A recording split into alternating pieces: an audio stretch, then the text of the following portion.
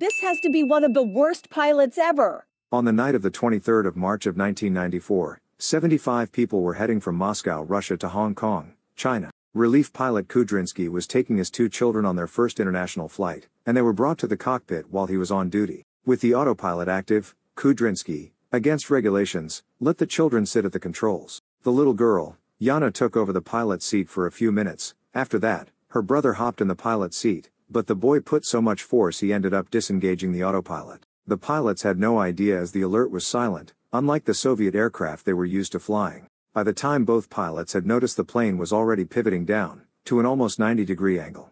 The pilots tried their best to control the rapidly banking airplane but ultimately had no luck. The pilots surprisingly almost got away to tell the tale. All 75 occupants passed away. If you would like hearing about more stories, please comment.